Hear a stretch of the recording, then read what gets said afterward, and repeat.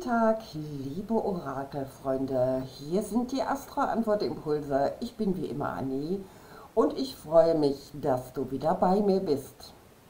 Heute schauen wir auf deine Kalenderwoche 50 und die 50 ist eine besondere Zahl. Die besteht aus der 5 und der 0 und die 5 mit der 0 dahinter, die potenziert die Möglichkeit, dass man sich für irgendeinen Weg entscheiden kann oder einen Weg entscheiden muss. Ich habe heute im Gepäck das Tarot de Marseille, ein bisschen älteres Deck, ein bisschen altertümliches Deck. Und da werde ich mal gucken. Ähm, das ist nämlich ganz neu, wie ich damit, wie sich das so anfühlt, damit zu legen. Dann habe ich noch ein paar Lennys als Klärungskarten dabei. Die Lennys, wisst ihr, verwende ich sehr gerne. Das mystische Lenormand. Und zum Abschluss haben wir auch noch das kleine Buch der Antworten.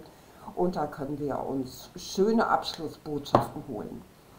Die Karten habe ich bereits einmal vorgemischt und ich möchte euch die Energie am Unterdeck zeigen. Hier haben wir es mit dem Herrscher zu tun. Der Herrscher eine traditionelle Energie, eine starke Energie, eine bodenständige Energie, aber auch eine sehr starre Energie.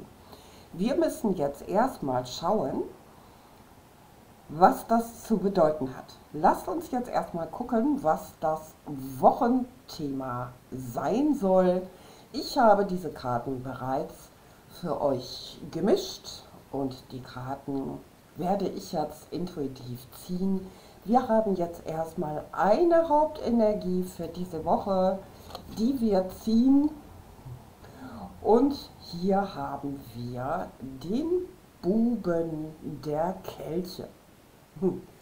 Der Bube der Kelche kann für viele Dinge stehen. Der Bube der Kelche kann für Kinder stehen, äh, sehr junge Personen stehen, die überwiegend blond oder hellbraun haarig sind. Es kann aber auch für Personen stehen, die halt keine besonders ausgereifte emotionale Energie haben. Vielleicht weist dich dieses Bild, diese Energie auch darauf hin, dass du emotional wie ein Kind auf Dinge zugehen sollst, also noch unbedarft, noch unvergiftet von dem Lauf der Dinge, vom Lauf der Welt. Und wir werden gleich mal direkt dazu klären mit den Lennys. Was soll uns das bitte schön sagen? Was wollt ihr uns dazu sagen? Was soll das bedeuten? Hier haben wir einmal schon Treffen. Wir haben einmal den Park bei den Lennys legen wir einmal kurz hier zu. Und was soll uns das Ganze noch sagen? Worauf will uns das Wochenthema hinweisen? Also diese 20, die, die ähm, 20 im Lenormand, der Tag, der soll uns darauf hinweisen. Und habe ich es nicht gerade noch gesagt? Was ist von dir gefragt? In dieser Woche 50 Du sollst ein bisschen aus deinem gewohnten Umfeld rausgehen, sei unbedarft wie ein Kind, geh auf die Dinge zu und du solltest dich ruhig mehr aus deinen vier Wänden in die Öffentlichkeit trauen. Jetzt haben wir gerade Winter, wir gehen ja nicht so viel raus, aber du weißt, jetzt kommt die schöne Weihnachtszeit. Am 3. Dezember haben wir den ersten Advent und die Weihnachtsmärkte haben äh, geöffnet. Du brauchst also ein bisschen Raum raus aus deinen gewohnten vier Wänden. Sei kein Stubenhocker in dieser Woche, bekomme ich rein. Also, das ist die Energie, die dich in dieser Woche begleitet. Und ich bin schon mal heilfroh, nachdem ich jetzt die Kalenderwoche 36, äh Quatsch, die Kalenderwoche 49 hier für euch gelegt habe in der letzten Woche, bin ich schon mal ganz, ganz froh, dass das keine Karte ist, die wieder auf dem Kopf liegt und wo böse Mächte im Spiel sind. Eines muss ich noch dazu sagen, wenn du neue Menschen triffst, das will ich jetzt nicht verschweigen, und äh, da Emotionales an dich herangetragen wird, ähm, ich meine jetzt Personen, potenzielle Partner, rausgehen, Menschen kennenlernen, Ähm, wenn du noch Single bist, dann geh bitte nicht davon aus, dass das direkt die große Liebe ist, die da signalisiert wird. Das sind in der Regel erstmal kleine Gefühle, ähm, die hier gezeigt werden. Das können nette Komplimente sein, das kann eine nette E-Mail sein von irgendwem. Also in dem Kelch, guck mal, guck mal dieser Kelch, ja, da ist was drin, aber da sind schon Früchte drin, aber es ist bisher nur ein Kelch, noch eine sehr kindliche Energie. Schauen wir weiter. Jetzt geht es für uns im nächsten Bild und schau, da hat sich schon was rausgeschoben. Für das, was definitiv in dieser Woche passieren wird. Und jetzt haben wir auch noch den König der Kelche. Hey. König der Kelche. König der Kelche spricht immer oder spricht gerne für einen treuen Ehemann, für einen vielleicht sogar potenziellen Ehemann, für einen passenden Partner, für jemanden, der mit dir auf gleicher Linie schwingt. In der Regel geht es hierbei um eine männliche Person und das ist ein Mann, wahrscheinlich über 40 und das ist ein Mensch, der kein Problem hat, mit seinen Gefühlen umzugehen, Gefühle zu äußern und Gefühle zu leben. Das wird auf jeden Fall auf dich zukommen. Das ist schon mal eine gute Nachricht. Ähm, und wir wollen jetzt schauen, was kommt in dieser Woche garantiert nicht auf dich zu. Das ist, beruhigt mich sehr, weil wir haben hier einmal den Buben der Stäbe und der Bube der Stäbe ist jemand, äh, auch eine jüngere Person, jemand, der sehr unreif und unreflektiert mit seiner Wortwahl umgeht, der andere Menschen schnell verletzt und deswegen bin ich jetzt auch schon mal ganz glücklich, dass das hier garantiert nicht passieren wird. Auf der anderen Seite steht das Bild natürlich auch für dich und das bedeutet, du wirst garantiert auf deine Worte achten, du wirst keine verletzenden Worte aussprechen in deinem Umfeld und du wirst auch nicht unüberlegt sein in allem, was du tust. Das ist sehr gut. Ja, was wird garantiert passieren? Kann auch ein bisschen deine Energie sein. Das heißt, du bist in einer sehr reifen Energie, wohlwollend, ähm, sozial eingestellt, sehr nett zu allen Menschen. Du hast eine sehr fürsorglich, emotionale Strömung an dir und das ist sehr, sehr gut. Ja, das verspricht ja schon mal eine gute Adventszeit zu werden. Lass uns weiter schauen. Kalenderwoche 50 bitte. Gebt uns bitte nochmal Botschaften. Ui, hier haben wir schon mal den ersten Wochenimpuls. Du weißt, ich wähle immer ganz gerne, da haben wir das schon. Siehst du, heute sind die Karten wieder sehr springfreudig. Und wir haben hier sogar zwei Karten liegen, das lasse ich jetzt sogar so. Das habe ich jetzt gar nicht gesehen. Und wir brauchen noch eine Quintessenzkarte, die uns hier den Abschluss bietet, die lassen wir jetzt erstmal nochmal zubedecken. Also, es scheint doch eine sehr emotional harmonische Woche zu werden. Und was ich reinbekomme, ganz sicher macht es für dich Sinn, dich aus deinem häuslichen Umfeld rauszubewegen mit einer neuen, frischen, emotionalen Energie, hier auf die Welt zuzugehen. Und hier scheint es sich zu lohnen, äh, Menschen zu treffen. Geh ruhig an öffentliche Orte, obwohl ähm, ich habe ja immer so ein bisschen Angst im Moment wegen diesem ganzen Krieg ähm, ähm, unten in Israel und im Gazastreifen an öffentliche Orte zu gehen. Ähm, aber hier wird zum Beispiel angesprochen, dass man auch gesellschaftliche Ereignisse besuchen soll. Du wirst ganz sicher Einladungen bekommen, die auf dich zukommen. Das können Einladungen sein, äh, Privatpartys, Einladungen von äh, Freunden, von Bekannten oder jemand äh, nimmt dich zu irgendeiner Party mit und du solltest alle diese Gelegenheiten unbedingt wahrnehmen, weil jetzt kommt hier eine ganz gute Strömung für dich rein, nämlich da kannst du so eine Person treffen. Deswegen rate ich dir, nimm Einladungen an, auch wenn sie erstmal auf den ersten Blick gar nicht so reizvoll sind für dich. Schauen wir weiter. erster Wochenimpuls und da bist du immer noch so ein bisschen in dir selbst, in der Zurückgezogenheit, im Rückzug und haben es nicht gerade äh, gesagt, du sollst aus diesem Rückzug raus und das ist die Strömung, die dich in dieser Woche begleitet. Man will dich ein bisschen aus deinem Schneckenhaus rausholen. Du hast wahrscheinlich viel hinter dir, du hast vielleicht vieles durchlebt, denn der Eremit, das ist eine Karte, äh, eine Energie, die sucht alleine nach dem inneren Licht. Und ich gehe mal davon aus, dass du ähm, mit deinem Single-Leben, wenn du Single bist, sehr, sehr gut zurechtkommst und dass du diese Zeit nutzt, um dich weiterzubilden, um dich weiterzuentwickeln, um dein eigenes inneres Licht zu suchen. Ja, das ist eine sehr gute Energie. Auch wenn du ein Single bist, dann ist diese Zeit für irgendetwas gut. Du sollst zu dem inneren Kern deiner Persönlichkeit vorstoßen und du sollst zu dir selbst kommen und das Beste aus dir selbst machen. Das ist gut und schön, aber es ist jetzt an der Zeit, mit neuer emotionaler Frische auf die Welt zuzugehen, das hier deinen Kelch neu zu füllen mit neuer Lebensfreude, neuen Ideen, äh, neuen Sichtweisen. Du sollst kein Eremit mehr sein.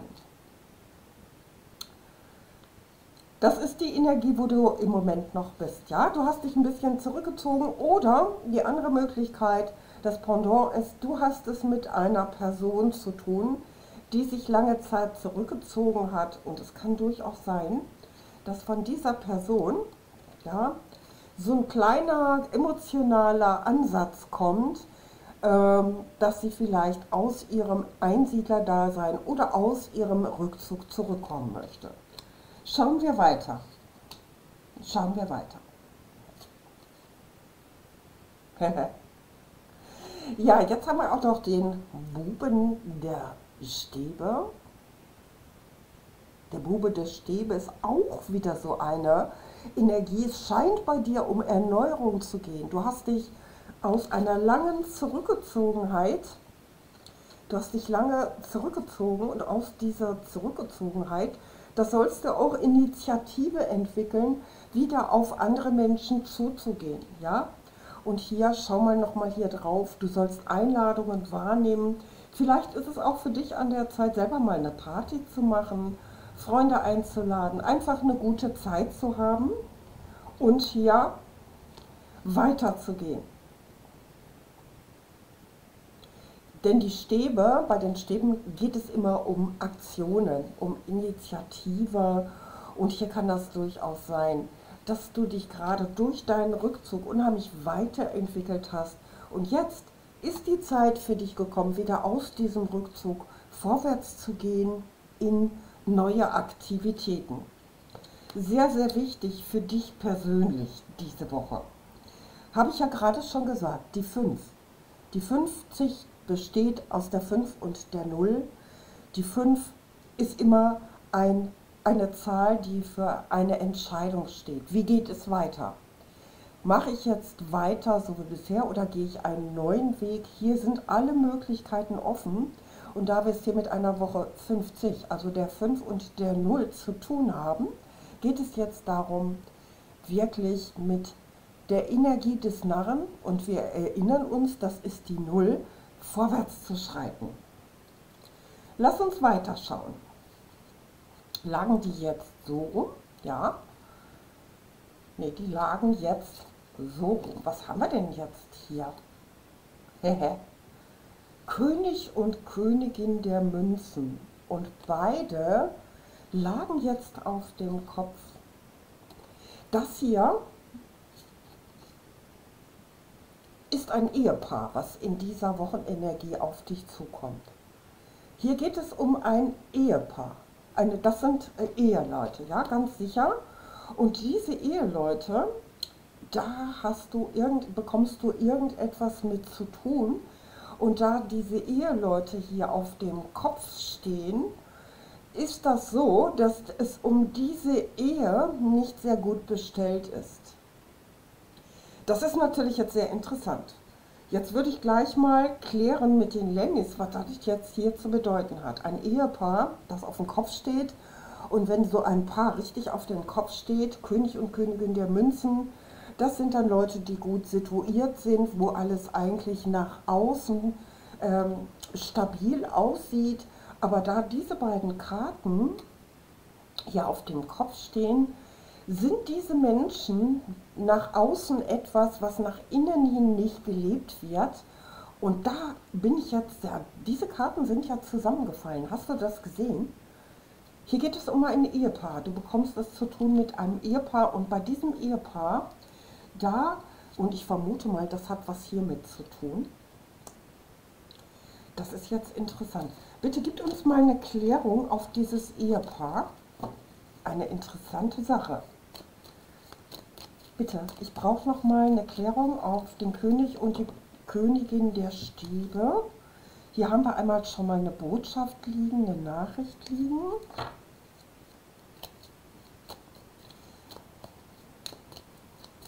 Ich vermute mal, dass von diesem Ehepaar, oh, das sind zu viele. Das sind zu viele. Die nehme ich nicht, das sind einfach zu viele. Okay. Bitte gibt uns noch mal eine Botschaft, weil, na gut, wenn es denn so sein soll. Hier haben wir einmal den Mond, hier geht es auch um Seelenbotschaften, um emotionale Nachrichten, aber auch um Nachrichten, die am Abend kommen. Und hier hat es etwas zu tun mit emotionalen Verstrickungen. Habe ich es nicht gerade noch gesagt, dass es bei diesem Ehepaar geht es, äh, diesem Ehepaar geht es nicht gut. Ja, und ich vermute mal, oh ja, ja, ja, ich ahne schon wieder Schlimmes, dass dieser König der Kälte ist der König der Münzen. Es ist ein und dieselbe Person, um die es hier geht, denn dieser König der Münzen, der stellt ja den, die solide Ehe da, wo alles okay ist, hin und her und hast du nicht gesehen. Aber im Inneren sieht es sogar bei beiden Eheleuten nicht gut aus. Du bekommst eine Nachricht über eine Ehe, über einen Mann, äh, der,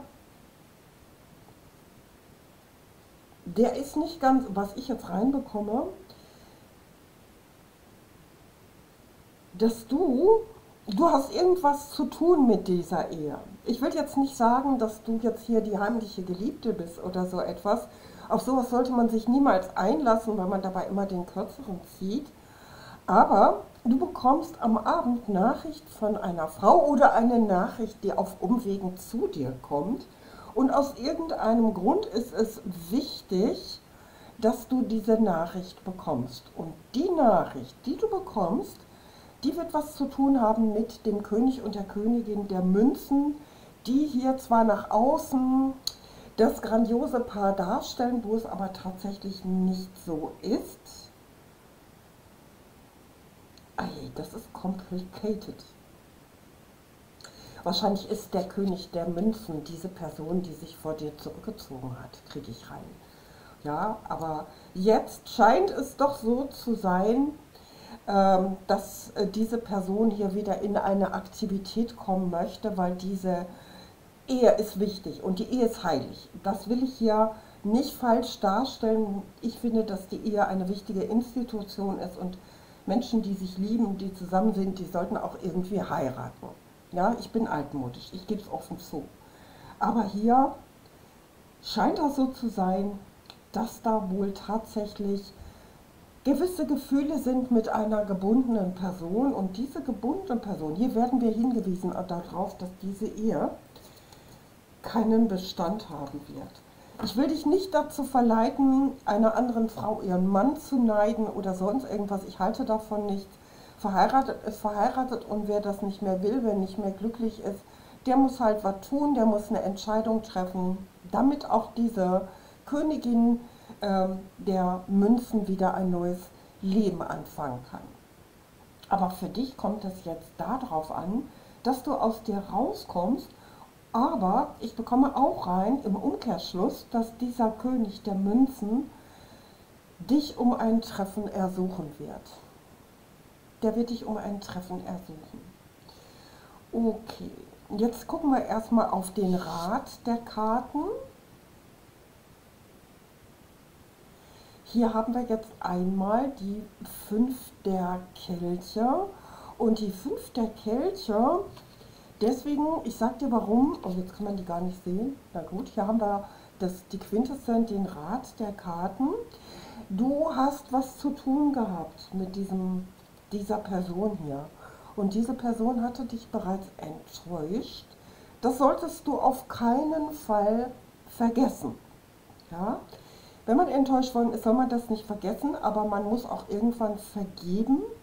Vermutlich hat diese Person dich enttäuscht, weil sie gebunden war, ist deswegen in den Rückzug gegangen. Aber jetzt sollen die Dinge in Gang kommen. Ja? Das war zu wenig, was man dir gezeigt hat, aber jetzt will man vorsichtig wieder einen Schritt auf dich zumachen.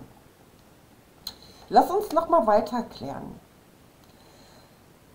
Das ist also, es geht hier um jemanden aus der Vergangenheit. Ja, hier kommt jemand aus der Vergangenheit wieder zurück und hier kommen die Dinge in Gang. In der Vergangenheit hat man dich vielleicht so behandelt, also mit harten Worten, verletzend, aber jetzt will man dich so behandeln, wie es eines Königs würdig ist. Vorher war man immer in der Pagenenergie, in der unterentwickelten emotionalen Energie, die so ein bisschen ihre kindliche Befriedigung sucht, aber das geht jetzt raus.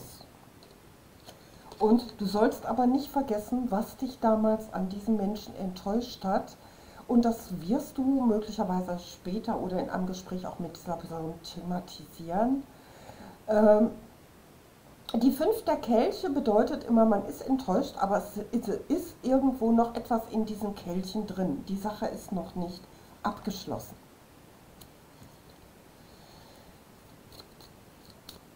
Was hat das hier auf sich? Ich möchte hier noch weiter klären, weil ich denke, da ist es am wichtigsten. Was hat, warum musst du das wissen mit diesem König? Aha. Ich verstehe. Jetzt haben wir hier das Kreuz. Hier geht es einmal um das Karma, weil warum hat sich das verzögert? Warum hat er seine Gefühle für dich nicht offen gezeigt? Weil hier diese beiden karmische Partner waren. Aber auch du hast mit dieser Person, mit diesem falschen König der Münzen, aber mit dem echten König der Kelche, ein Karma. Deswegen sollst du das wissen wer auch immer ähm, dich da enttäuscht hat, bitte gibt uns nochmal eine Botschaft hier. Warum müssen die äh, Zuschauer das wissen? Warum soll die Reisegruppe das wissen? da bist du. Du bist die Frau, die ihm der Himmel schickt. Jetzt guck dir das gut an. Ne? Ich habe es geahnt. Das Kreuz mit der Hauptperson bedeutet immer vom, vom Schicksal geschickte Frau, vom Schicksal geschickter Mensch. Bitte seid nicht böse, lieber Männer. Hier geht es darum, dass dieser Mensch von dem umgekehrten König der Münzen zu einem aufrechten König der Kelche wird. wird. Einfach deswegen, weil diese Person ihre Gefühle leben soll und du bist die Frau, die für diesen Mann bestimmt ist. Du bist diese Frau, sonst wärst du ja nicht gefallen. Hier geht es um schicksalhafte Ereignisse und das ist sehr interessant. Also wer auch immer das war, der dich da in der Vergangenheit enttäuscht hat, diese Person kommt zurück. Oh diese Person kommt zurück und die wird dich wahrscheinlich um ein Treffen ersuchen. Die wird, diese Person wird natürlich nicht von vornherein ihre vollen Gefühle offenbaren. Das wird diese Person garantiert nicht tun, denn sie weiß eines ganz genau hier, das hier ist passiert. Wie wirst du mit der Situation umgehen? Das interessiert mich jetzt noch. Fragen wir noch mal die Lennys zum Abschluss der Legung. Wie wirst du damit umgehen?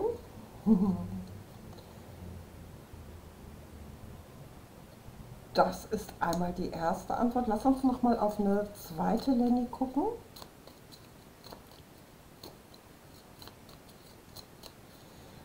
Lösung, die Sicherheit. Der Schlüssel steht immer dafür, dass man den Schlüssel zu irgendetwas bekommt, den Zugang zu irgendetwas, eine, aha, was auch immer dich betrübt hat in der Vergangenheit, es wird jetzt kurzfristig, innerhalb der nächsten zwei Wochen bis zwei Monate, hier bei dieser Geschichte zu einer Lösung kommen.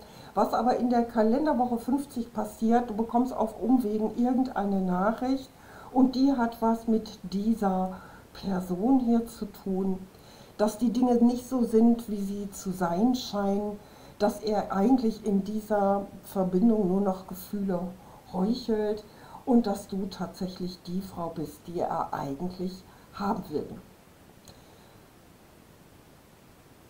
Also schau es dir gut an, was auch immer dich da so betrübt hat. Es wird eine Lösung geben und diese Lösung, diese endgültige Lösung. Guck mal, hier ist das Sonnenzeichen und dieses Zeichen, siehst du das hier oben? Das bedeutet immer Gott in allem und das steht dafür, hier hat das Schicksal auch seine Finger im Spiel. Eine interessante Legung. Ich habe es ja am Anfang schon gesagt, die 50 steht immer für die potenzierten Wendepunkte im Leben und hier scheint in deiner persönlichen Liebesangelegenheit, in dem, was dich so lange Zeit bewegt hat, ein Fortschritt zu kommen. Ja? Du hast dich nämlich, weißt du was, du hast diese Türe geöffnet. Du bist derjenige, der den Schlüssel ins Schloss gesteckt hat, dadurch, dass du losgelassen hast. Du hast dich entschieden, deinen eigenen Weg zu gehen. Du hast dich entschieden, äh, okay, das Spiel mache ich jetzt hier nicht mit. Ich gehe vorwärts und ohne es zu wissen, hast du hier hinter in deinem Rücken den Schlüssel ins Schloss gesteckt. So, dem habe ich nichts hinzuzufügen. Ich wünsche euch eine wundervolle Woche. Bleibt gesund. Lasst euch nicht abspeisen mit Dingen, die für euch zu wenig sind. Du bist auf einem sehr guten Weg. Wir sehen uns zur nächsten Wochenlegung. Bitte vergiss dein Like nicht und dein Abo. Wir sehen uns.